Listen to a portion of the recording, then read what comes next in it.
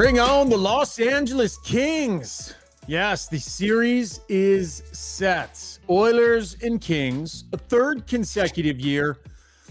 Come on, Oiler fan, admit it. You're relieved. Everybody was playing it all cool about it potentially being Vegas, but better matchup for the Oilers in the early going here.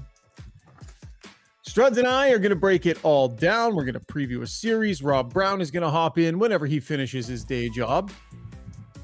Let's rock out a podcast tonight. As the season, the regular season is finally done. Coming at you as always from our Long Shot studio out here in Sherwood Park. Did you know Long Shots is available for corporate events? Why not have some fun with your coworkers? If you're a business owner, give them a call, set it up, treat your people. Why not? It's so much more than just golf. And as always, our program, show, podcast, live stream brought to you by Sherwood Buick GMC. Big, beautiful dealership just off Baseline Road on the way into Sherwood Park. Can't recommend them enough. They've got a streamlined sales process, a warm and welcoming staff. They've got vehicles on their lot. You can test drive the vehicle that you want to buy. Financing is made easy. Oh, and by the way, the vehicles are awesome. I have the GMC Sierra 1500 elevation, and it's great. Sherwood Buick GMC can hook you up. Go see them at 10 Auto Mall Road. Struddy, wow, the LA Kings almost blew it, buddy. What what an insane finish. And maybe for anybody who's listening in podcast form the next day or didn't actually see it, uh, like take us through what just happened there, man. The Kings were in control yeah. and then they weren't anymore after Vegas had lost. yeah, so watching Vegas, they lose. You're like, okay, now we know who they're playing. And then the Kings are up 3 1. Uh, Chicago comes storming back, rattles off uh, four. Was it four in a row? Yeah, no, yeah, three goals, three goals in a row, and then Kings score one to tie it four four. So that's where it stands right now as uh, we're speaking. I believe uh, overtime is just starting, but it doesn't. What happens now is irrelevant. The Kings got a point. Vegas didn't. Oilers Kings for the third time in three years. I mean, like you want the rivalries? There you go. You got one three years in a row. I know, crazy man. And like, is it just me? LA was playing like they didn't want Dallas. Like when when they let that lead go, they had a whole bunch of giddy up in their step. So penalty late, the power play ends up sniping. But sorry, LA was playing like they they wanted no part of Dallas there, buddy. Like they they had their hustle on big time. And Dallas smoke hmm. showed them this year. Wasn't yeah, even we, close between Dallas and LA this year. Well, I'll actually count. I I thought that as the period started, um, I thought Kings looked really like slow. They thought they had it. Scared. They let their guard they, down. They looked, I honestly think they almost looked scared. Like the, the Blackhawks, with all due respect to that team, are not the juggernaut they looked like in in that in that that that period of three goals they scored. They were all over the Kings. Like I'm talking all over them. So yeah. It was a really it was a weird game. You're you're right. They they weren't I don't know if they were they were running from Dallas, but I thought when they got the lead, they just looked really almost tentative and scared. And the mm-hmm. guys I'm used to making plays, Doughty, Kopitar, Kempe, um, all these guys that we used to make plays were not making plays out there. It was really weird. It was a weird, weird game uh, for that. So Vegas doesn't come up with a whole lot tonight, where they lose to an Anaheim team that on most given nights they don't have a lot of business losing to. And that opens the door for the Los Angeles Kings. All they needed was a point. They ended up getting two. They win that game like six seconds into overtime on a Kempe snipe. By the way, as as much as Oiler fans might be like, "Oh, Talbot is ripe for the picking," and kind of feeling that after they saw that, then they watch Kempe snipe like that, and they go, "Oh yeah, that guy, that that, that guy." Like so let's talk about the matchup here, Struds, and uh, we'll get to breaking down the hockey game here in a couple of minutes. Actually, let's break it all down in our breakdown brought to you by Mr. Dirk, the iconic men's clothing store founded in 1939 just off Whyte Avenue on 102nd. Mr. Dirk has everything you need for every aspect of your wardrobe casual clothes like jeans and pants, shirts, sweaters, and shoes. And on the formal side, a great selection of brand name suits and sport coats and ties.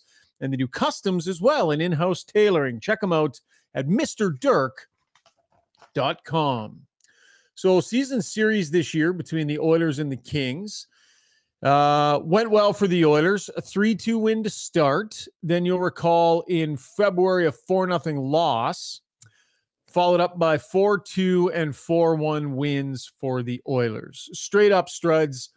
This is a better matchup, I think, for the for the Oilers than Vegas would have been. You could make an argument that, you know, slaying that dragon early, taking on Vegas and just getting after it in round one, there might have been some some value in that for the Oilers if you get by Vegas, now you're really cooking with gas, right? If you beat LA, well, you just beat LA again, and it doesn't really start for real till after that. But it is a better matchup for them, isn't it? Okay, three things. One, yes, it is probably the easier of the two teams would be the Kings. Second thing, is it easy to beat a team three years in a row in the first round of the playoffs? I'm not sure. Sooner or later, I don't think so. Maybe Kings have to have it. Uh, maybe they have to uh, get their get their due against the Oilers. And third thing, if I had my choice, if I was in charge, I would have had the Oilers play the the the Vegas Golden Knights. I believe that you know, as to use the word slaying the dragon, it would kickstart them, get momentum going into the second round of the playoffs uh, to bring down the defending Stanley Cup champion. So I would have preferred Vegas in the first round to any other team. And quite frankly, I'd rather play Vegas in the first round than I would in the second round. Hmm. Although they hmm. can't play now. Could they play? Yes, I guess they theoretically, I guess they could. But yeah. It's it's interesting, you know, like LA goes to bed laying their head on the pillows at night when they're thinking about mm, you know where they want to be and where they weren't able to get and it's the Edmonton Oilers they're thinking about right? Like th- those players, it, has been the Oilers. If I mean, Oiler fans know that feeling. For a whole year, it was Colorado, and for a whole year, it's Vegas, and you you sit on that, right? You feel that. Well, two years in a row for this core group, it's been the Edmonton Oilers that they've had to sit there and think about, and so you know they're not going to back into this series. They're going to come out. I mean, some kind of fierce in this thing.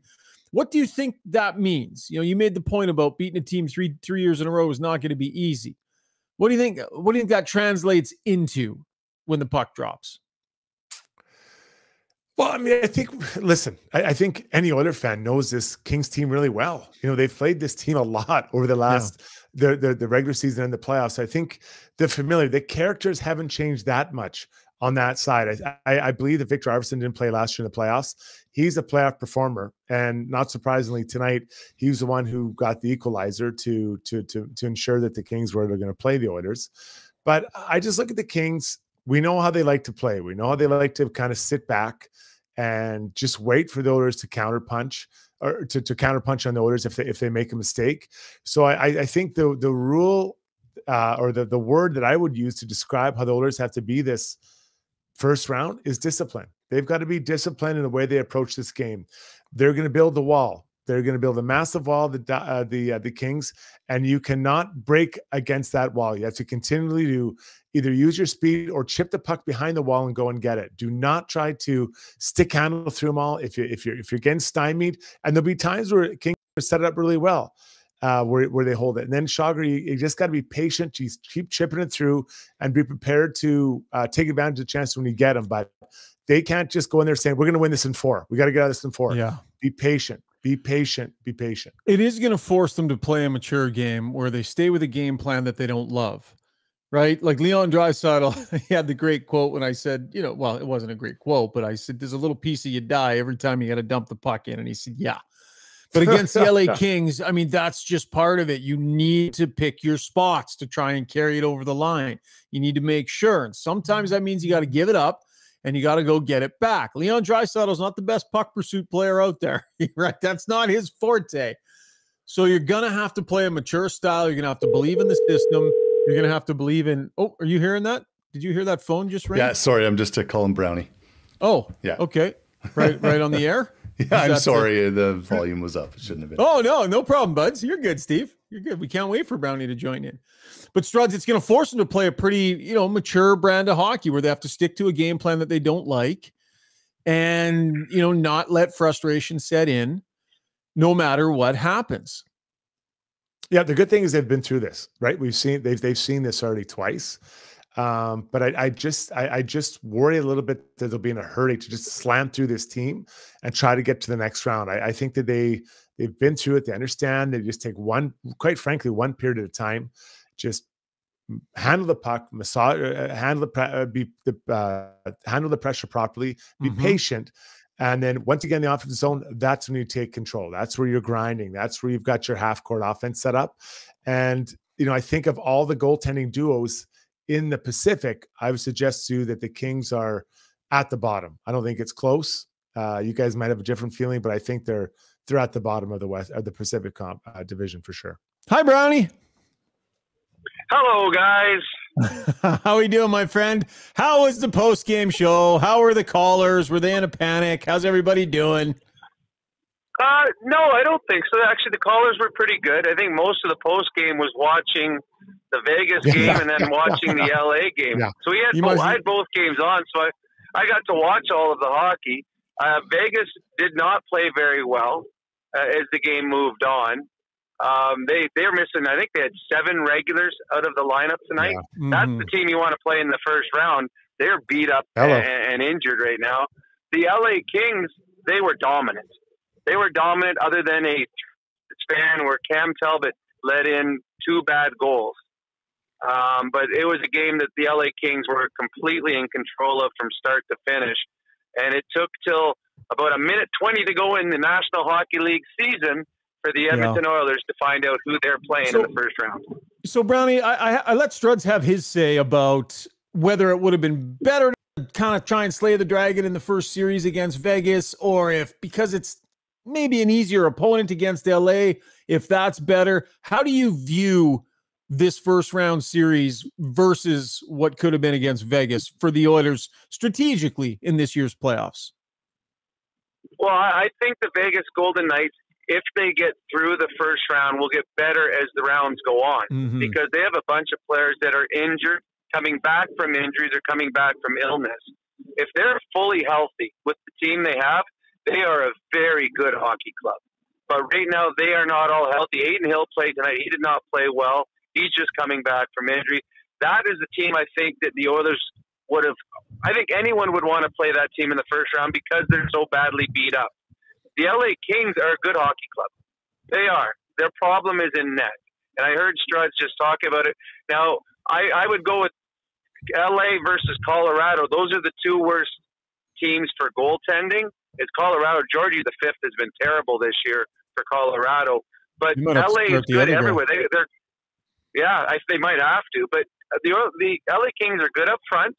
They're they're deep down the middle. Uh, they're they got good defensemen, but the one weakness they have is, is in net. I think the Oilers have a huge advantage with Skinner over Talbot. Um, but I, it's not an easy out, and I I listen to Struds. You do not want to look past the LA Kings. Like two years in a row, but it took seven games in, in the first year, and it was a two nothing score in game seven, and then it was in six games last year. So LA's good. The Oilers should be favored, and as Reed pointed out before I left, the Oilers finished the season five points ahead of LA, which is like one point a month. So it's not as though there's a huge discrepancy. So this should be a good series, but it should be a series that the Oilers win. Mm-hmm. Question for both of you guys. Yeah. I know we're getting ahead of it. Do you load up the top line against Kings? Yeah, I was just going to go there, Struds, because I'm looking back on. Thunder. No, no, not at all, buddy. No, it's a great point by you, and it's a good, it's a good place to take this now, because I was just going to bring that up. yeah, I, I, have some information for you if you'll just let me. Okay, okay. Uh, sorry, sorry. eschew yeah. it. That's not a word. Uh, both series they started on separate lines and ended up together. Games four, five, and six they started the games together. They shifted that way partway through the series, and that's the way they got through the series was McDavid and Draisaitl playing together. And Evander Kane was the guy that was on their wing um, for a couple of those games. I think when they first switched it, it might have been Yamamoto. It ended up being Evander Kane. This year, they've gone those guys loaded up against the LA Kings as well. I think Kris Knoblauch has looked back at the history of it, and I think he's shown a willingness to do it against LA. It'll be very interesting to see if he's willing to start the series that way because that's the way it finished last time around. I'm not sure what Knoblauch's going to do, but I think they're going to end up playing together in this series, Brownie. Oh, I'd say 100% they will. And uh, if I'm if, if I'm Knoblauch, you're on home ice, you're favored. You got the fans are going to be going crazy. Uh, first shift of the first game, I have my best line together, and I'm just saying to the LA Kings, here's here's what we got. You haven't been able to stop it the last couple of times we played in the playoffs. We're going to start with them. Show me if you're capable of stopping this line. So I'm starting. If I'm Knoblauch, I'm starting with McDavid and Draisaitl and Zach Hyman. Game one, opening shift. That's my line. Yeah, Struds. I bring I bring it up because I've started him too. I think you just put him out there. Now it, things can go if if it doesn't go well, then you got to backtrack, right? But that's the I problem, Study. Yeah, yeah. I think though, you and that that that's because then it's kind of like admitting that. Oh my God, our big line can't get it done. So I I truly well, think I I think you go with them. I think you start with them. Um, then the rest of the lines get interesting. But yeah, and another thing, Shoggy, on that with starting them, the, when you play against the Vegas Golden Knights, the Golden Knights have six good defensemen, and yeah. they they're not afraid to put their second or third pairing out against anybody. The LA Kings are top heavy on the back end. Drew Doughty, they want him out every time against Connor McDavid. Well, if you're starting on home ice, you can dictate when Leon and, and Connor are on the ice and there'll be times when Doughty's out there, but you can get them in in into situations where they're going out against Spence or Engelland on the back end. Those defensemen cannot handle Connor and Leon together. So that's why I have them playing together in game one because the LA defense is not as deep as the Vegas Golden Knights defense. And you can take advantage of it by putting your best players out there and picking the matchups. Another quick one for you guys. If they do load up the big line, does that make it more or less likely Holloway is in the lineup? I'm, I'm gonna let tonight, you two talk about this. I'm, I'm just gonna stay right out of the first part of this one. Well, Tony, I go ahead, Struds. No, I'm asking you. Do you, do you think that it makes it okay. more or less, if they load up the big line? Do you put 55 in or not? Well, to me, it doesn't. It doesn't change your lineup because you still the, the problem for Holloway is if if you believe that Kane and Holloway and all those guys, or sorry, Kane and Folk and everyone are top nine players, there's still not that spot for Holloway, and they I don't see him being a fourth line guy because the fourth line doesn't play much, and he doesn't kill or he's not on the power play. But watching Holloway play, he's outplayed a couple other top nine players in this little stretch he's been up here. So it's one of those do you put him in the top nine spot and pull out a veteran player? I wouldn't yet, but I do believe that Holloway will play in the first series. I just don't know if it'll be in game one unless Evander Kane isn't 100% healthy. Yeah, I'm gonna go. I'm gonna. I think he's. They start with all the veterans. I think he. He's the guy that becomes the break cla- uh, glass in case of emergency guy. I think that's the guy that you bring in. And I, so I don't know. I think he's going to go with his veterans. I really do. Then that'll be the shot in the arm uh, coming out of the bullpen. Yeah. I mean, my whole point about Holloway was is he going to play well enough to get himself into the conversation to be in the lineup for game number one? Um, and I believed the early signs were that he was going to. I think he has. I think he's in the conversation. I think he's outplayed a pile of guys. And I know it's not convenient or easy, but I like the energy. And I think it's going to translate well in the playoffs. And I think the Oilers have a pace issue when he's not in there. And so I like it. I'm still not sure where is the problem because I do agree it's not ideal on the fourth line it'd be better for him to be playing with third line caliber players. But, you know, um, he's played well enough that the head coach needs to be scratching his head trying to figure out a way to make it work because, you know, so you don't start him, Struds. If you don't start him, you're not putting your 12 best forwards out there based on the last you know 10 days of the season now some would say that last 10 days of the season doesn't matter that much and you go with the ones that brought you there but he has consistently outplayed every most of the other guys that are in the running for that job so you know I, i'm torn because i get it's not a great fit but i love that speed and that energy and that physicality Yeah, I, I, I, I can't take too much out of these last few games. You know, yeah. like I just like tonight. It was that was a exhibition game lineup. Last night, in Phoenix or Arizona, whatever you want to call them, it just it was a weird game. Didn't go back to the weekend. Like I just, I don't know. I can't get too fired up about anything I've saw. I've seen any, any of these, any of these uh, games. So yeah, I, I, I haven't come out of the bullpen, uh, but I, I, agree with you. I think he will come in uh, at some point and uh, kind of bring some juice. Okay, a couple things from tonight's game that we want to get to, uh, when we'll do it in our takeaway segment. So, how did you feel about Stuart Skinner starting uh, behind a skeleton of a lineup, kind of being thrown to the wolves there? Interesting decision from Kris Knoblauch. We'll hear from him on that. What about the fact that the Oilers threw in the towel on the prospect of home ice advantage in the third round? They iced a lineup tonight, had no chance. Had they won this game tonight, if they faced Colorado down the road, they would have had home ice advantage. Uh, didn't even try tonight. Two interesting decisions. I want to bat it around a little bit. That's Struddy's world. Uh, ask us anything. Take a lap. Tons more still ahead. Uh, Struds, by the way, before we rip to break here, we do need to get in our relentless player of the game.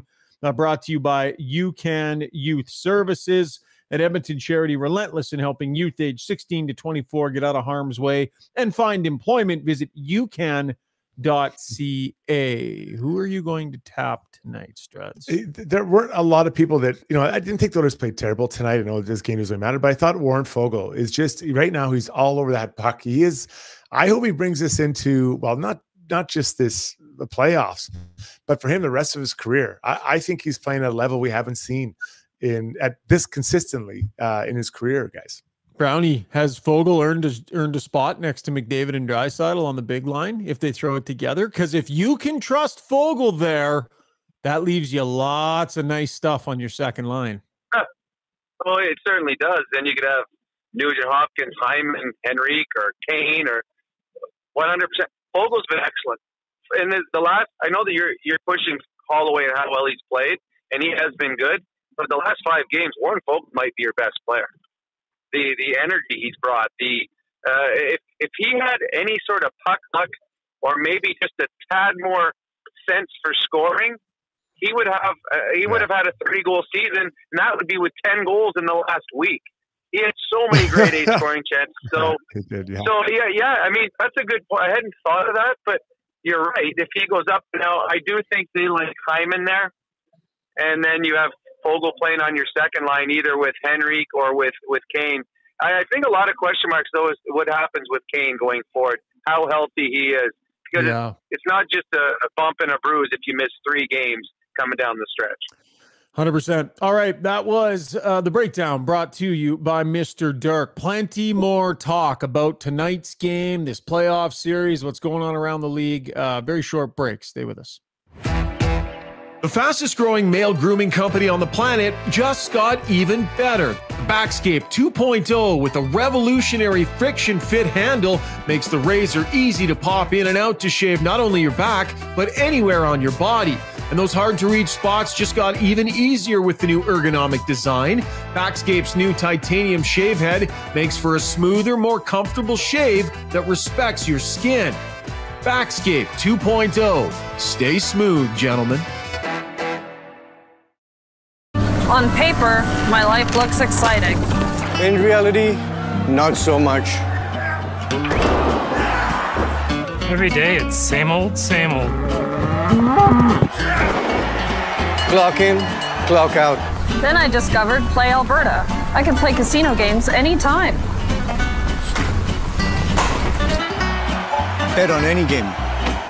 And buy lottery tickets anywhere in Alberta. I think my spleen is ruptured.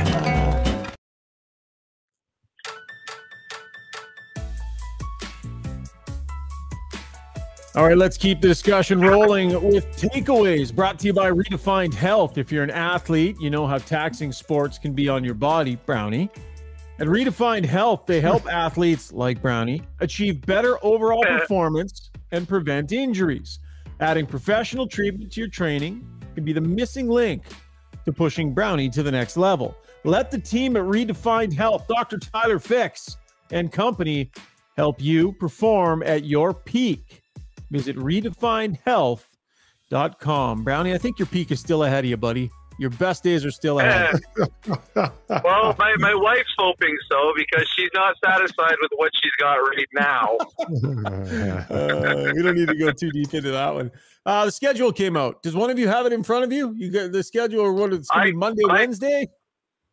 The schedule is Monday, Wednesday in Edmonton, 8 p.m. starts. Friday, Sunday in LA, 8:30 Mountain Time starts.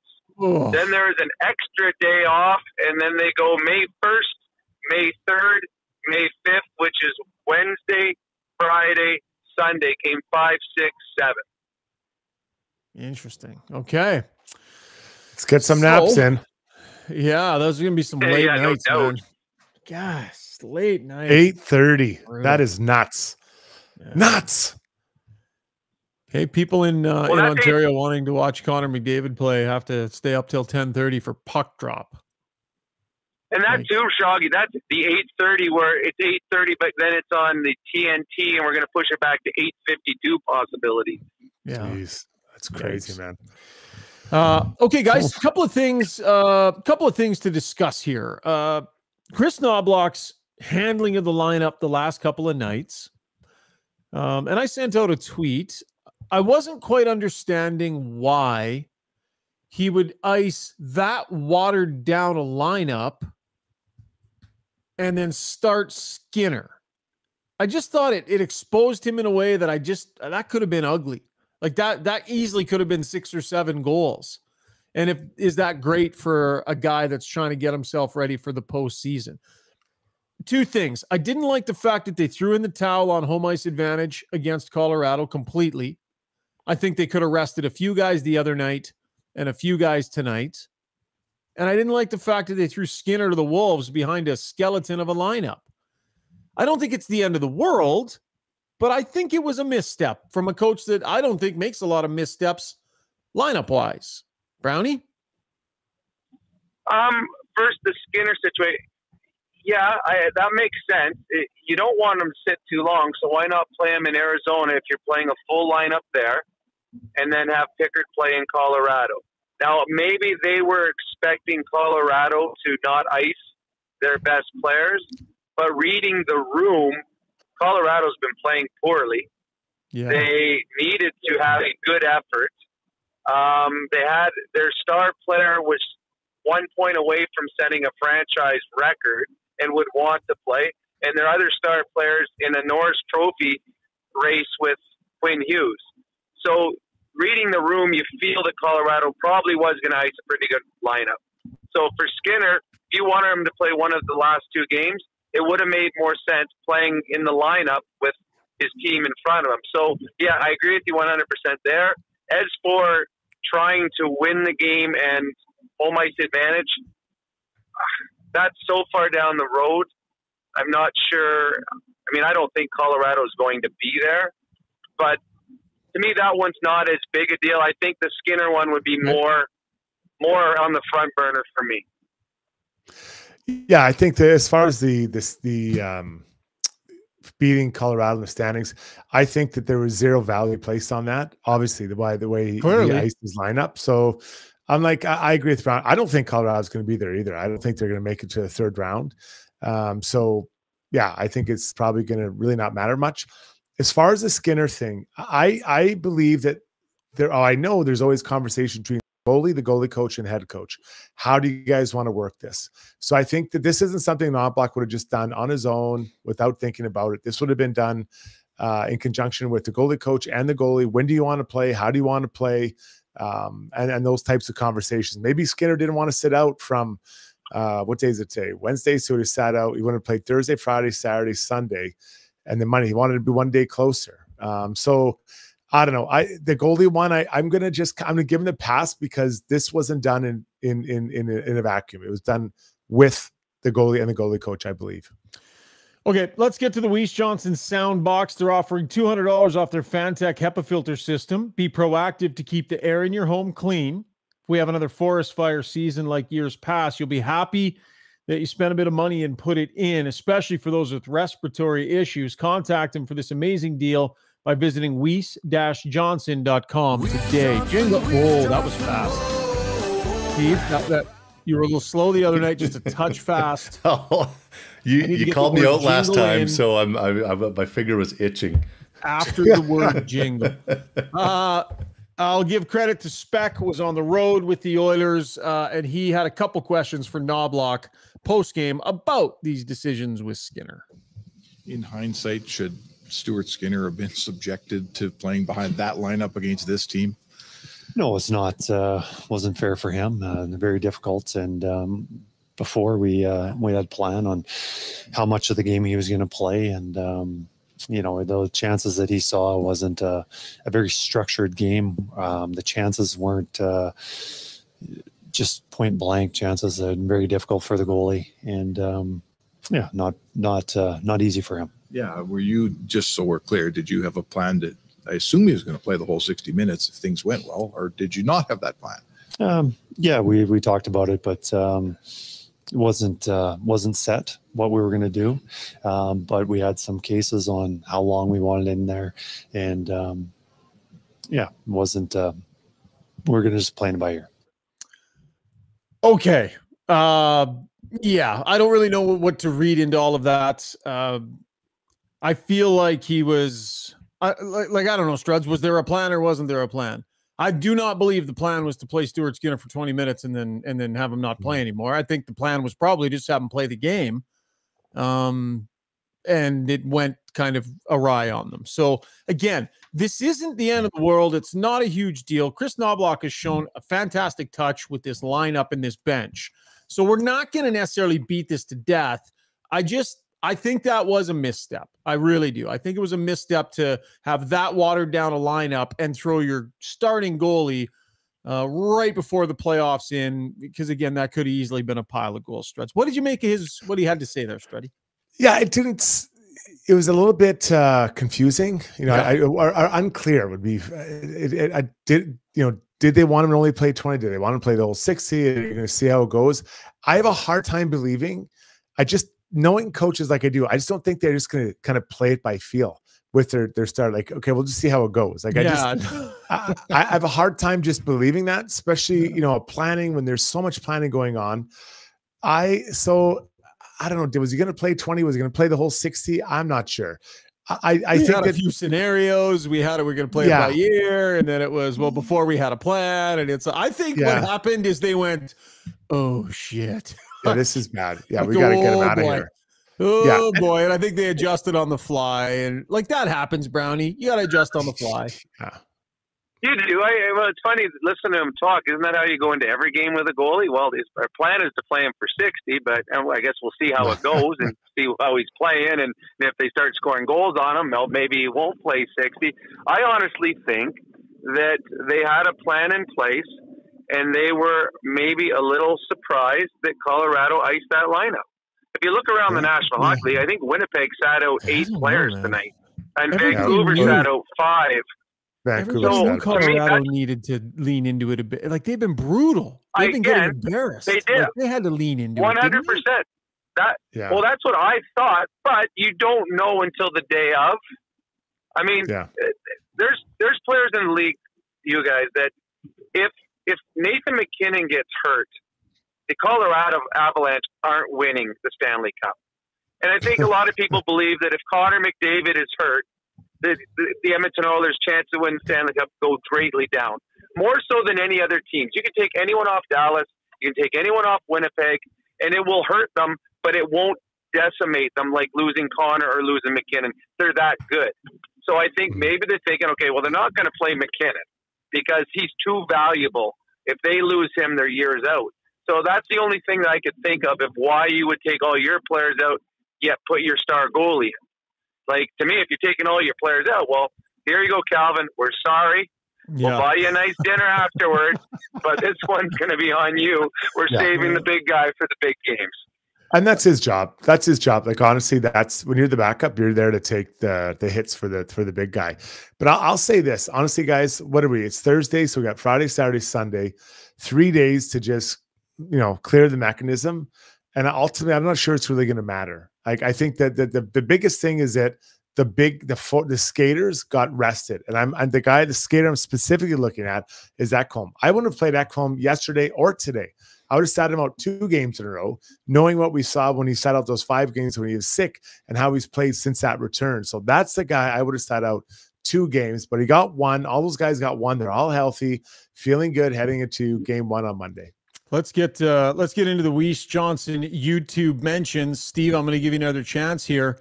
Visit weiss-johnson.com for more. Jingle. Weiss Johnson, Weiss Johnson. Whoa. A little slow. Hey. Uh, Zoe Zoe R says Skinner isn't dumb. He understands the situation he was in. I'm sure he probably figured it wasn't going to be all sunshine and roses. That's a measured thought. Uh, Kathy DZ says Skinner seems to be the most mentally strong goalie we've had in a while. I'm not worried. Uh, Shane Matheson says, totally agree, Kathy. He's already forgotten it. Uh, Nick Milan says, uh, Skinny will play some T Swift and shake it off. Get ready for game one. He is a pro. Trizent says the coach got exposed. Noel Rinsky is complaining, saying in all caps, people are making it the end of the world. I don't think anybody's doing that, respectfully, Noel. I think it's just Struds. This is this is a classic notable, bud. This is just a classic fall yeah. right into that notable category, pal. And maybe it's a bit overthinking. You know, I think that maybe uh, uh, you get in that coach's room, you're overthinking it and trying to think through things. Um, the simple would have put, just played Cal- Calvin. You're playing back to back. Bang. Simple. Yeah, man. Play Skinner against Arizona and play Calvin in the last one against Colorado. I think that makes sense. I'm not as convinced that home ice advantage means absolutely nothing. Like the Oilers are a good enough team that it's okay to be thinking a couple of rounds out. Expect to be in the third round. And if you'd address so well, here here was he, so here was the balance. You play everybody last game and it allows your power play unit to all be together, right? One more game with everybody together. That's what they benefited by playing everybody last game uh, in, against Arizona. Then the other option would have been sit half of the guys last night and then half of the guys tonight. And then you've at least got a chip and a chair and a chance to try and grab home ice advantage because the Colorado Avalanche, gentlemen, are the best home ice team in the league.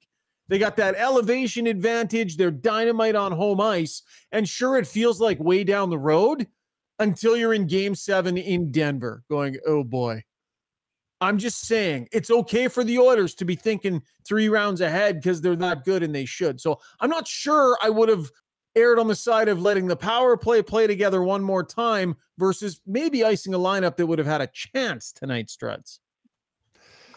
Um, no, I would have. I, if I, I like the way they did as far as rest everyone the same night. Just rest them all this game here. You get them in. You, there's bubble wrap them. Get them into the playoffs healthy. I could see what you're saying. You know, if you wanted to play Ekholm and Bouchard last night, I, I could, I could, I could understand what you're kind of getting into. Um, see, or been Nurse and CC, I'm with CC last time. I'm with you, Studs. I, I, it would It's you're not going to play half and half because if you really have that much interest in winning this game to have Game Seven in the third round, then you play your whole lineup. You don't say, okay, yeah.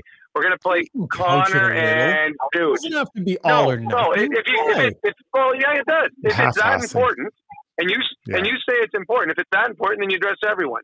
But if it's, it, if it's not that important, and well, I don't think it's that important. I don't think it's that important. I think it would have been really would have looked really dumb for the Edmonton Oilers to dress everyone to try to get home ice against the team that they may play three rounds from now. And in that game, Bouchard takes a slap shot on the power play and it hits Hyman in the foot and breaks his foot. I never said well, they should tried, dress everyone. I never said well, that. that. Yeah, but but no, but don't if you're not going to try to win the game, then don't dress any yeah. of them. Don't putting in two guys. Why? Game seven, is three it, rounds from now, who cares? It does not matter. You got to win your first round first. So to me, I, I think they did the exact right thing, sitting all the players out tonight. It, now you know every one of those players is healthy for game one. Strutty, last word, buds. There's no chance Colorado beats Winnipeg. but they, they they can't be saying to themselves there's zero chance they'll be there. Uh, so no, let's not they're, even consider it. They're not saying it. I'm saying it. Okay. I just I Hellebuyck's not losing to either one of those goaltenders. I love it. That's going to be a whale. And neither team is beating the Dallas Stars, and neither team is beating the Dallas Stars. Yes. Yeah. you, you don't go. think Winnipeg? I think Winnipeg might beat them. That's No, that's a I long ways down so. the road, though. Interesting. Okay. They're not. They're already thinking about that, though. They're thinking about Game Seven. Yeah. Good stuff. Uh, good stuff. Good debate. And again, this is not the end of the world on Kris Knoblauch. He has shown himself to have an excellent touch with this lineup. So I was just surprised tonight. I thought uh, I was a little bit surprised. So definitely worth mentioning, but definitely not the end of the world. Uh, let's get to the best segment on the entire podcast, the best segment that's ever been done on the podcast. Uh, and that is going to be brownie points brought to you by Hamel's beef jerky. Oh, some samples arrived in the mail today, boys. Oh, is it high end stuff? It's an Alberta based family owned business opened in 1962, and their beef jerky is out of this world. Hamel's Meats sent their sweet and spicy jerky to the International Space Station in 2009. I'm going to read that part of the ad read every night. I think it's so cool that their jerky went into space. For the month of April, get three pounds of beef jerky for 85 bucks and free shipping. You can mix and match from their 14 flavors. Fast shipping anywhere in Alberta. Visit albertajerky.com. Jingle. No, no jingle for them. We need a jingle for Alberta jerky. I was going to sing Brownie. something. Yeah. What do you got, Brownie? I tell you, I got, I got my, I got my box about three days ago. So my Mhm. wife and I have had it the last three days. Oh my God, is it delicious? It is so good. Yeah, yeah. And there's all kinds of different types. It is really, really good. So thank you. Thank you. Thank you. All right, brownie points for tonight. It's a combination of last night and tonight because we didn't do a show last night, or if you guys did a show, you didn't invite me to it. But here we go 105 brownie points to Nikita Kucherov for being the fifth player in the history of the National Hockey League to get 100 assists. I watched that game. He probably could have had nine assists in that game. Yeah. And you talk about players resting. He played 20 minutes in the first two periods alone. They were trying to get him assists. It was pretty cool. 69 brownie points from Auston Matthews. It wasn't 70, but 69 is a really good year, too. I've got minus 100 for the NHL not letting us know when the playoffs started until after the game tonight. Uh, they lose 100 points for that one. 20 brownie points for Warren Foegele scoring his 20th goal of the season. He was an excited young man last night when he scored Mhm. that 20th goal. It carried into today's game.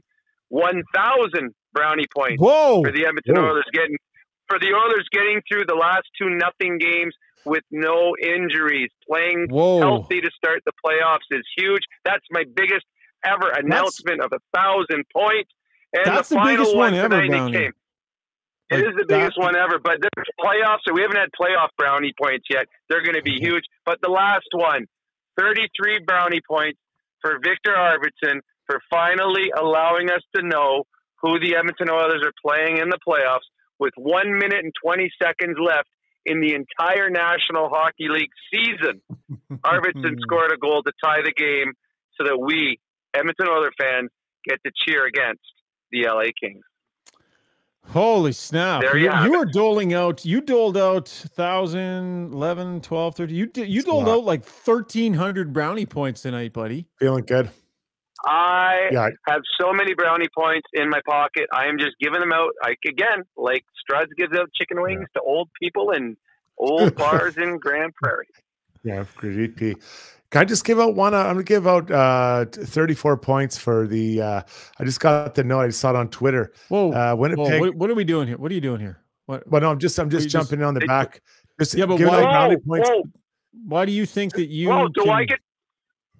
because it's appropriate. It's appropriate. I just No, but- once you see you'll see the tweet. You guys didn't see the tweet. What's he Winnipeg doing here, Jets Brownie? Are This is sitting hella segment. I don't know. Do, They're do I get? Do I get to be? Do I get to walk on Strutty's World? I don't. I sometime? guess Do from I get, now like, on, you guest could just jump in there? right in the middle of Strutty's world and start doing opinions of yours, I guess, if you. I'm, Winnipeg I'm going to talk about shoveling my driveway one day. Here, this is how you shovel your driveway. Pierre LeBrun just tweeted out that apparently Winnipeg Jets are sitting Hellebuyck for the first three games, so he's rested for the second round against uh, against Dallas. really? Was he being yeah. smart ass? Pierre LeBrun said that, or maybe it was it was the other guy, uh, Gordy Dwyer, whatever. Oh. Someone, someone, I forget who it was. Thirty-four. Kevin Carey. That's funny. do you accept those? You get the final say. oh that. my goodness. That is, I, I, I am giving an extra 123 brownie points to Struds for his really good brownie point give out to Winnipeg. Uh, yeah. See, I would thought you might have had some. Now, I won't be so bold as to just try and hand some out because it's clearly it's not my place, and I know my place. I would have thought maybe there might have been 89 brownie points tonight, Bud, for a little little special uh, little Oiler forward that got in the lineup maybe for the last well, time. Yeah, I've said I, I, we talked about it on our show before the game, whether Adam Erne and, and obviously Sam Gagner, if it's their last ever NHL game. I didn't want to say that because I, I I didn't want to put that out there because I haven't heard if Sam Gagner is coming back. If he wants to keep playing, so I don't want to be the one that says, "Hey, for Sam Gagner's last ever NHL game." So uh, I you could have given him to the to coach myself. for getting Gagner in. 89 to Kris Knoblauch for having Gagner in the lineup for the last yeah. game of the year. Could well, actually, no, it would have been nice. Would have been nice 24 brownie points if he would have called up Brad Malone his last oh, ever game yeah. before he retired. That would have been kind of cool. Yeah. Mm-hmm. yeah. that is good for nice, nice kid. Played, uh, he got played some playoff games for the Oilers. Had a nice career. Good for him. Yeah, uh, Mike Smith there chimed in 89 points to Sam Gagner. Um, definitely wanting that. By the way, uh, Steve, are your feelings hurt at all? Because Mike Smith is really concerned about you. He literally said, Ryan, quit being so hard on Steve. And then there was talk of me being taken to HR. Yeah. So I mean, this is constructive feedback I'm giving you on your timing. This is about your fast twitch. This is no, I know. work in general. You just you're a little slow. No, it's just it's just I, I did text HR by the way. That's that is your wife. Yeah. Oh, my wife. text received. no, I was I actually I actually just typed something in the comments and I hadn't even sent it yet. And I said we're all great buddies, folks. Chirping is half the fun. If oh, we yeah. if we weren't chirping, then uh, then there's something to be concerned about. all right. Uh, Steve, that's enough talking till the end of the podcast, bud. But thanks. Sorry, boss. Love you, buddy. Uh, Brownie, great job tonight on Brownie Points, brought to you by Hamel's Premium Jerky that we all uh, are loving these days. Uh, Brownie, I think we're going to do a setup pod on Sunday night to dig into all the latest. By then, we'll know line combinations, we'll know more. There'll be other series underway. So we'll talk to you on Sunday night, pal. Sounds good. Good night, guys. All right, the great Rob Brown. When we come back, uh, tons more to get through. We got take a lap, we got Struddy's World, and we got Ask Us Anything. Stay with us. For over 60 years, Belvedere Golf and Country Club has been delivering a high quality golf experience to Edmonton and area. This beautiful private club, located on Highway 21 just south of Sherwood Park, occupies 160 acres and presents a challenging yet adventurous 18 hole design. A beautiful clubhouse, fully stocked pro shop, and warm, friendly staff truly make it feel like you belong to something unique and special. Visit www.belvederegcc.com. Long Shots Golf is the destination for both golf enthusiasts and sports fans. Top of the line Trackman simulators provide a highly entertaining and accurate golf experience, while a full service sports bar loaded with big screens and scratch kitchen make it a truly unique destination. They have locations in Sherwood Park and Edmonton. Experience the best indoor golf and sports bar in town. Visit longshots.ca. That's longshots with a Z.ca. Spring is here, and if you're thinking of buying a new home during the housing market hot period, contacting a mortgage broker should be your first step. Maria Gallus with Maximo Mortgages can guide you with a stress free experience. With access to dozens of different lenders, Maria's simplistic approach and expert advice will have you ready to put an offer in on your dream home. Take the stress out of your mortgage journey. Contact Maria Gallus at mortgagesbymaria.ca. That's mortgagesbymaria.ca. When you make a mistake, heads should roll. It's not right. And I'm here. Someone has to put their foot down. Now that I say it out loud, it does sound a little crazy. Gotta look good.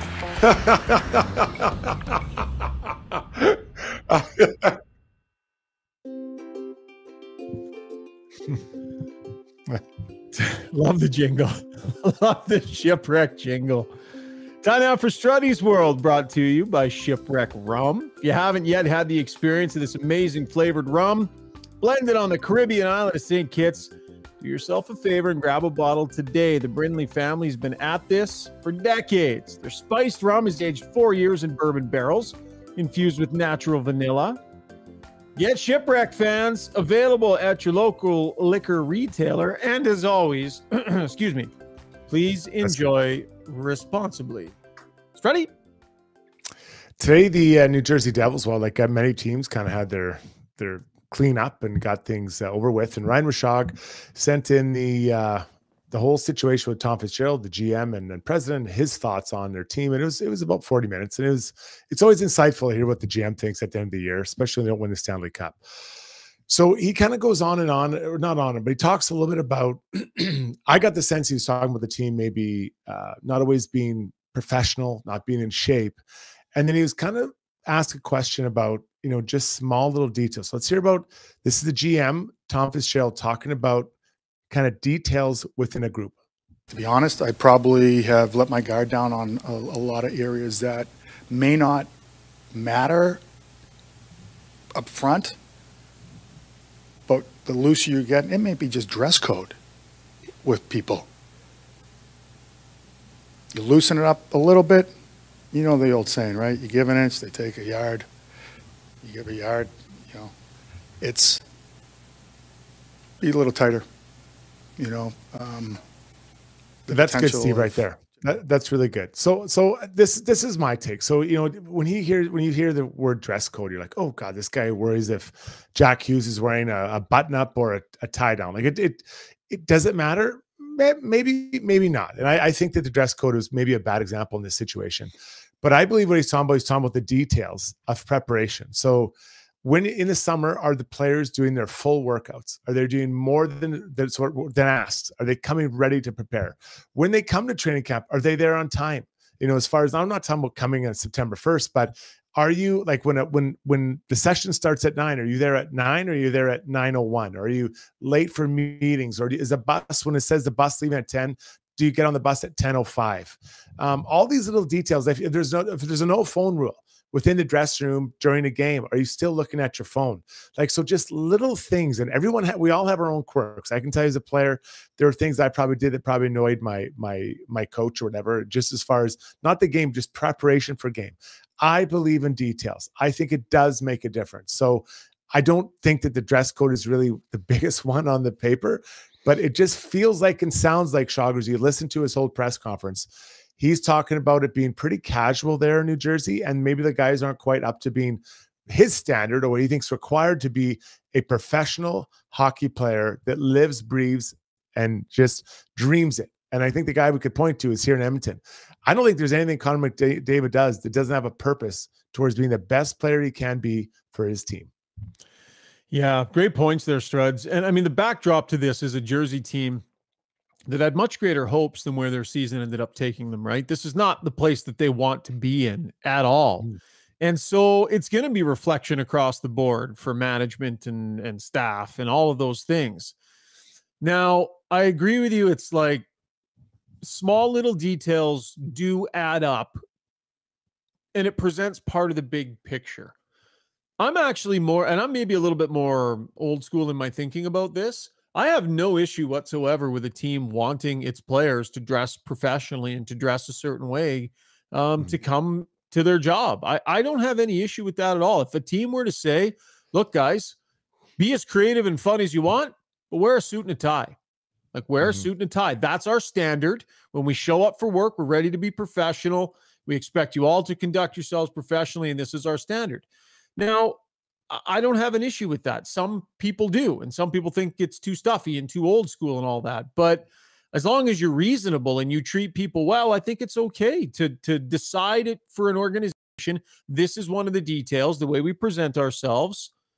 Um, that's important to us. So I I really didn't have that much of an issue with it. Now, is that going to equal the difference between winning and losing, whether you wear a suit and a tie to a game or not? I don't think so, Struds. But I think managers should have some ability to control some of that stuff and to set certain standards in place. And if it works, great. And if it doesn't, the next guy will do his thing. I feel at times when you're focusing on a tiny little detail like that, maybe you're not sure about the other answers. And let me give them two that might might be able to help them. Goaltending and bigger players. Those are two issues they have. I mean, you yeah, look at that team. It can't be. It's not like he never mentioned goaltenders or know, other issues with the team all day long. I mean, that's I what we picked out. We're cherry picking this one thing. Well, I know, but but what I'm saying is that that it, like I just I I agree with the details. But so today we as I don't know if you noticed during the game, Connor did not have a tie on watching the game upstairs. Sure. Or so or or Hyman had a, a they were going back and forth. Was it a turtleneck or not? And, and that's a whole nother conversation whether that's right or wrong about a turtleneck. But like the whole thing, like so it's it's to me, there are certain details that really matter. And I, like I think if as you if as a player you show up and you look presentable, you look nice, that's good enough. I, I can live with that. If you show up late and you weren't a suit, I'm not going to be happy. I, I, just I have a pro, I have a real problem with tardiness because that tells me you're not ready to go. If you show up and you're you're you look kind of half asleep still, your hair is on sideways. I don't like that look either. Like that that to me is more damning than a guy coming with a, a whatever Duran Duran t-shirt and a pair of jeans. Like those details matter um, to me more than perhaps what they're wearing. I think it's about reading your group. I think it's about working with leadership and reading your group. If your analysis of your group is we got a lot of young guys mm-hmm. and they're all, you know, um, we don't have a lot of maybe structure in our veteran group and structure in our leadership core, and we're, we're relying on a lot of young guys. We feel as an organization we need to implement a little bit more structure in a few areas to compensate for the fact that a lot of our core people haven't been around long enough to just make be making sure on some of these like i'm i'm okay with it man like as long as you as as long as you're not um as long as you're allowing people to be themselves and you're allowing people to express themselves and not being stuffy and ridiculous like the lou lamoriello shavings i mean it's ridiculous. That that's the kind of stuff that's just goofy. But to but say listen when you're coming to the cups. Well right. so by, by by what you're saying that should be allowed. That, sh- that should be good. But that's, that's I just agree with that. See, no, but to me, that's different. That's telling somebody that would be like saying you have to, you know, you have to have your hair a certain length. You have to have your facial hair a certain the Yankees length. did that. We only want. They I know, won. but that's that's the stuff that we're past. I think we're st- we're past that stuff, Struds.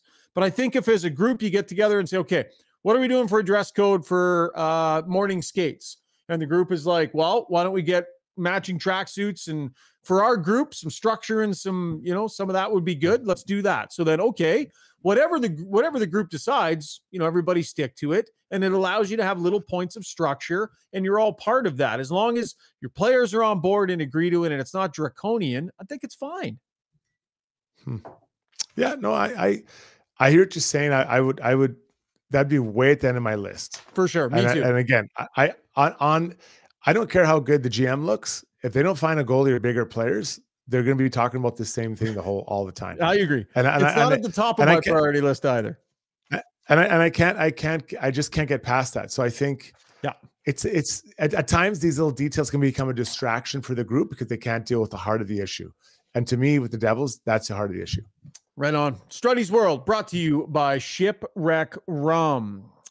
Okay, playoff matchups are set. So as we get into our take a lap segment, I think we're going to take a quick lap around the league, Struddy. You and I will couple of, make a couple of uh, predictions. We'll figure out what this first round is going to look like.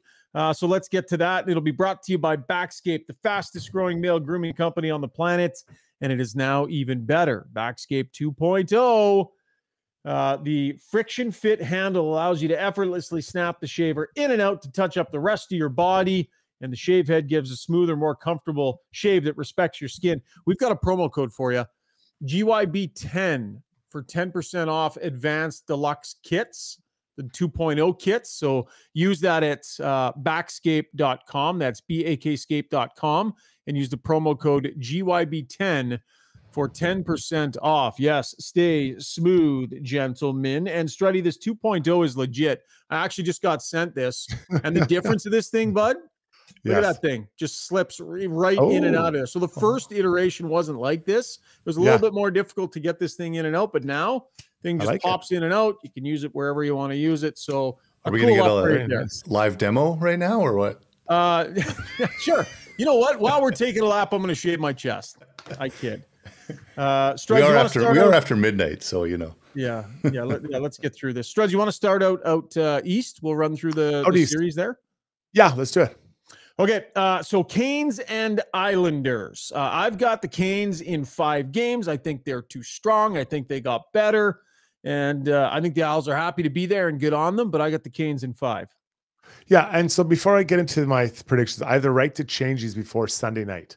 Let's just say that because we're going to get together again and chat. Okay. Because uh, there are some that That's are weird sandbagging. Well, because some of these out west are relatively new, and I want to make sure I kind of look a little bit more at it. I don't want to just be shooting uh, uh out of nowhere, so I got to give a little bit of time.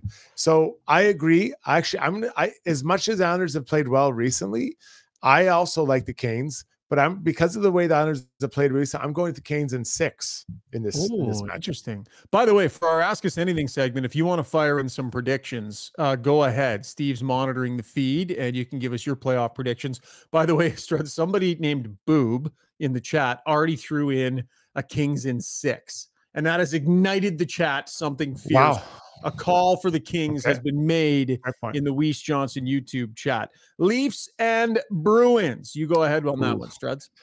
I hear everyone calling this a coin toss. What coin toss are we talking about here? Have you looked at the goalie situation? I just this that and then the D. The goalies and the D, I believe, make a big difference. There's a lot of firepower up front for the Leafs, no doubt about it. But I just don't see it. I cannot see it happening. So I'm going to go again I'll go a uh, Bruins in five. I got the Bruins in six games. I think that the Leafs stars are going to put up a real good uh, fight. Uh, I don't think they're going to want to go quietly. But weird stuff from Sheldon Keefe the last couple of days. Hey, like talking about he was talking about how Nylander's sick of regular season hockey. Talking about how if he was concerned about their recent results, he's like, I couldn't even tell you the score of tonight's game, let alone any. Basically saying we yeah. don't give a crap and haven't for a few games. the The important stuff is about to start. Well, you better start on time because you got the Boston Bruins. I got the Bruins in six. Panthers in seven over the Tampa Bay Lightning in what I think will be one of the, if not the best series of the first round Struds. Oh, it's going to be great. I, I actually, I'm really happy the way these Eastern ones went down. I've had some time to think about this. I'm going Bolts. I'm going to go Bolts in seven. And, and um, I think it's going to be Vasilevskiy that makes a big difference. So Bolts in seven. Yeah, that's a fair call. Like the say what you want, man. The Tampa Bay Lightning, you talk about the spine of a team you know, you got to have the high end forward, the high end defenseman, the high end goaltender. Like they are just so, they're so, so good. By the yeah. way, Steve's got a poll going uh, as well in the chat here asking for your prediction in the Oilers series as well. Rangers and Capitals, Go Struds. Mm. Can I do it in three? Rangers in four. I think the Caps, it's a nice story that got in, but I, I got Rangers in four. Yeah, I can't imagine eh, when the Rangers really apply themselves to this thing. I'm not sure how much pushback Washington is going to be able to muster. I agree with you. It's been a good story, wing and a prayer, weird circumstance that they get in under. Um, I think they've had their big party already. Jets and the Avalanche. I know you said you feel like maybe Winnipeg can get past them. I think Colorado's going to win this in seven games. I'm going the Avalanche in what? seven games. Yeah. Okay, just based on what? Base. So just give me the the basing, the basis of this. I think discussion. that much in the way that Connor McDavid can carry a team through a series if he has to. I think Nate MacKinnon has that ability this year. I think Nate MacKinnon's going to do some unreal stuff, and I think he's going to be able to propel them at least through this series. So, right, sheerly on the strength of arguably the best player in the world this year, right now. Did did Nate MacKinnon? Did they trade for a guy named Nate MacKinnon as a goaltender? I know. I know what I, saying. I, know I can't. Saying. I I can't. Out of respect for your one, I'll go Jets in six. I had okay. it down five, but I'll go in six. I, I think the goaltending is going to be a major issue for that group, and the Jets are so deep. They're really deep. Their defense. They have guys sitting out uh, that are good defensemen. Like I, I think they're going to do. They're not going to blow them away, but they're going to grind them down like erosion. I'm interested in your next prediction. The Vancouver Canucks and the Nashville Oh, Predators. I have never seen a team finish where the Vancouver Canucks have finished and have so few people believing in them in any way, shape, or form. And quite frankly, that includes their fan base when you look online at the way they're talking about their team. What are you doing with the Canucks and the Predators? So this is the one I want more time to look at. I will give a prediction tonight, but I, I gotta just look at a little bit more than I have so far. I this one is a gut says. this this yeah this is this one's a, a just yeah it is a gut. It's this one I think is could be could go any which way, but I will go Canucks in six. I think that uh Demko Saros probably saw each other off, and I like a little bit more offensive ice uh, firepower for Vancouver uh, than than we see with um, with Nashville. Although like guys like, like uh, we know Forsberg, those guys are, and I think Riley had 25 or 30 goals this year. Like they've got some. I don't know there's something I like about Van. So I'm gonna go Van in six, but again, I reserve the right to change this on Sunday. Who do you think plays better in the series? Hughes or Josi? Which D man do you think will impact that series more meaningfully? That's a good one. I hey, man, I think Roman Josi's been through it before. That's what I, I think mean. he'll, he'll probably be the guy that plays better. Um, and I worry about the size of Quinn Hughes. I, I I'm guessing that Nashville's going to try to lay the body on that guy every which way they can. Uh, I've got the, the Vancouver Canucks in six games as well. I have the Dallas Stars beating Vegas.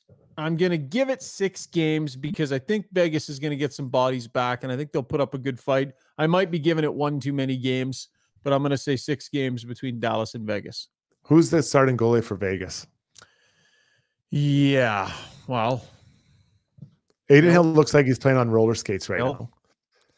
I know it wasn't good, man. It And, and that's not it. I'm not being disrespectful, but from what we saw last year to what we saw now, even you go back to when they played the Oilers, like he he does not he's not comfortable in the in in, in the pipes, and I get it. He hasn't played a ton, so I've got Dallas in five. I, I really think that they're a very deep team, deeper than Winnipeg, and I think Winnipeg is like is deep, well deep. I think the Oilers are going to come out like a house on fire. I think they're going to be rocking and rolling. And I think they're going to start better this year than they have in previous years. And they get an early lead here. And I think they're going to, I'm going to give them five games. That's probably not respecting the Kings enough. I think I did the same thing last year. I'm going to go the Oilers in five. Yeah, this is a tough one. I'm probably not going to go Kings in six, but and so I, for I think that time's going. Someone in six is kind of gutless, so I'll, I'll go with you. I got Oilers in five as well. I'm going to go Oilers in five. Interesting. Um, I think the goaltending is a pretty big difference. I don't see a huge difference in the D. I think that the Oilers are, you know, they, they've got some good D there. Um, you know, you, at some of the, the scorers for uh, LA have struggled, noted, noticeably. Byfield hasn't scored a lot. So lately, so I got Oilers in five.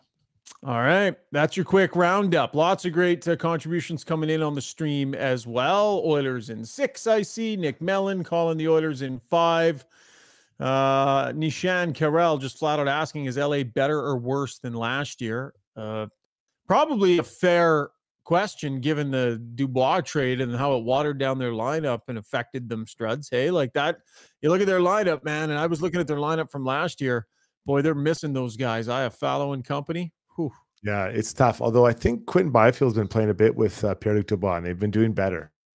Or it seems like that that's been a pretty decent line for them. Yeah. Um, pretty big, heavy line. So something to watch for. Like who's matched up against that for the oil? Yeah. Uh, that was taking a lap brought to you by Bakscape. All right, Steve, hop on in here, my friend. Time for Ask Us Anything. We get everybody on the stream involved. By the way, really healthy audience on the live show tonight. We really appreciate your contributions. We will awesome. lovingly ask that you pound that love button if you get an opportunity. Hit that like button for us. Um, apparently, that helps us. That's what the kids tell me. So if you don't mind, go ahead and do that for us. Time for Ask Us Anything. And it'll be brought to you by Match Eatery and Public House, your destination for all the sports action, big screens, ice cold beer, and all your pub favorites. Perfected.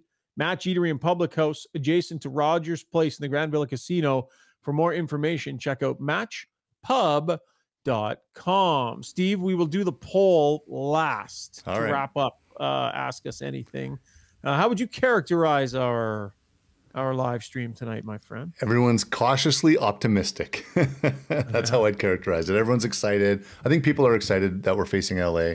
Um, and uh, yeah, they're just not being too boastful about it. Um, so yeah, it sounds like most people, I would say, um, have a good feeling about this about this uh, first round. So, and sure. we should clarify too, Steve. You're a Monstro Oiler fan too, like Monstro Oiler fan. I am, uh, Steve. So he's right there with you. Yeah. Um, go ahead, buddy. What do we got?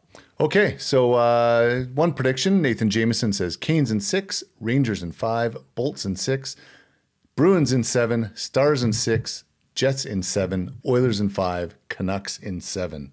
I thought that was all pretty pretty good. Yeah, pretty mainstream pretty yep. mainstream. Didn't go for a lot of yeah, for sure. The killed zombie very uh, very early in the stream. As soon as we opened it up, said L.A. versus Edmonton battle of suspect goaltending. mm. Made me laugh. Struds, how much like like Skinner? Skinner last year wasn't at the level that he would have wanted to be at. Struds, you've talked a lot about Skinner all year long. What's your sense on what Stu Skinner is ready to throw out here? I think the fact that he went through it last year is huge. Until you're in the playoffs, until you felt it, the pressure, the intensity, the even the scheduling, all that stuff, you you have no idea what you're getting into. He now knows. Um, he's Stu's a very relaxed guy, very calm guy. I think that he is mentally and physically ready for this. Whereas last year he didn't know what to go into. So I'm I'm way more comfortable with him in there. And uh, to suggest that both teams, the Oilers and the Kings, both have bad goaltending, I think would be I think that's you're mischaracterizing what we've seen all year from Stu Skinner. Steve, I'm going to take one more here from JL. Uh, says, has Ryan heard anything regarding who the new general manager will be? That's going to be a pretty significant talking point when the season is over. Struds, my guess is is there are probably some clandestine conversations happening in the moment and a list of names somewhere and maybe mm-hmm. even some conversations happening. This is an important position. And I know we're very focused on the playoffs and such right now, but this is something that has to be pretty high on Jeff Jackson's to do list. I just don't think we're going to hear much about it at all during the playoffs. I would say it's like the duck calm on top, feet are going hard underneath. yeah, there's no reason to to bring this up now. It has nothing to do like for for the players to hear this and to think about who who's going to be dealing with me on my next contract like that this is not the time. You want the, the noise around the team as quiet as possible. Um, so you're right i'm sure they are figuring it out and looking at what they who who they want to talk to but I, i'd be blown away if that was even mentioned at all and what we hope to be the next weeks. Okay, Nick Mellon uh, coming in with the X factor here. He says teams like Winnipeg and Dallas, I don't trust they have um, the factor they need. Colorado and Vegas have won, and they know what it takes. So that that factor of you know teams that have won in the past versus ones that haven't, how significant is that, Struds? Well, every team that until they win, they haven't won. You know, so I think that that's kind of how how it works. You look at some of those guys from Dallas; they've been to the final uh, before. I know there's not many of them left there, um, but I would rather have a lot of good players. Like I think Dallas has more good players than uh, than Avs do. Although the Avs have some probably higher end ones, but yeah. the, the Dallas has some more depth through their lineup, and I think that shows in what they got, how many twenty goal scores they got. So I, I think that I I believe it's it's going to be Dallas, Winnipeg over there, and then I think obviously Vancouver, Edmonton over here, but. It's going to be tough, and then getting out of that, like, these teams are big and physical. It's going to be tough tough. I tough. can't get I can't get Oettinger's performance against the Calgary Flames a couple years ago out of my I know. Head.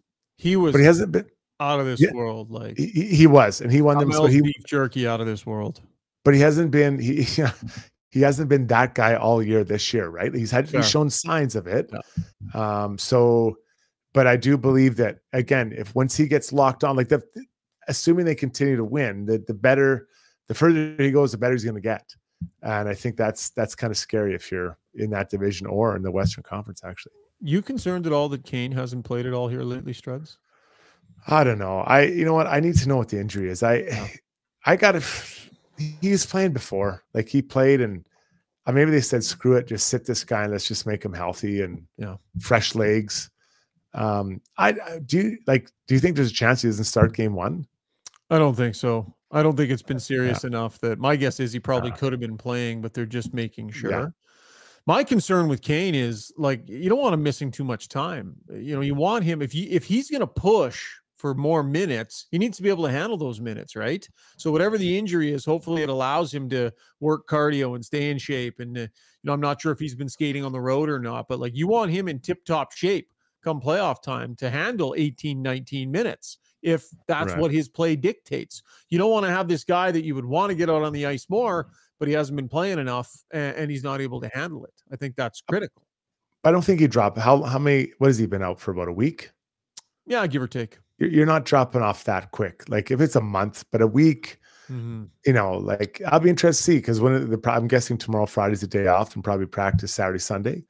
Um, I would expect to see him back on the ice Saturday if he's playing in game one. Now, if he's not practicing Saturday, and they and the whole team practices, then probably a little now different conversation. Yep. Steve, yeah. a couple more, bud. Okay, we got a Janmark one and a Foegele one. So um, uh, Riapol was uh, saying, if you're playing Janmark over Holloway, you're lost. And Shane Matheson replied with, uh, Janmark just went three games where the line against him didn't even get a shot on net. Janmark is the definition of playoff hockey. Thoughts on what Janmark's going to bring in these playoffs? Shagar. Yeah, and I think the head coach is going to gravitate towards putting him in. I'm not sure if he would need to be the answer for Holloway to come out. I guess I wonder if Sam Carrick needs to be in. Can Janmark be as effective as a center? He's played there before. Um, if Holloway has Holloway been good enough that you're willing to put Janmark in the middle and pull Carrick? I think that's an interesting question. I think Holloway will throw as many body checks through the course of a night and he'll push pace, whereas Carrick will take it the other way. I think Janmark has a chance to be decent for them. He'll kill penalties. And the thing about Janmark, and and, and you can't deny it, is he his lines don't give up a lot against, and he's real good. His his analytics are real good on that front. So I get it. I totally get it. I think he's going to be good, and I can see why a coach would lean that way, Struds.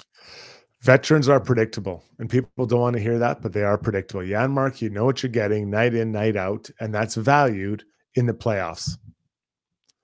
Okay, Ro Nelson, sorry, on uh, on Foegele.